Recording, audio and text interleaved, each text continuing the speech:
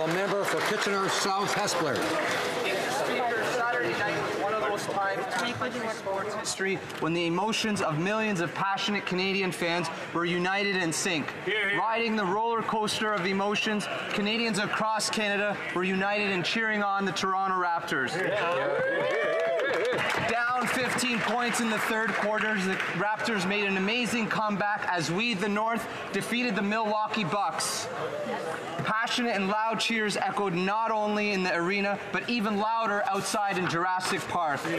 Wherever Canadians were watching, we were all cheering on our basketball heroes. Kawhi Leonard, Kyle Lowry, Pascal Siakam, Fred Van Vleet, Serge Ibaka, Norman Powell, and Marc Gasol as the Raptors head to their first ever NBA final.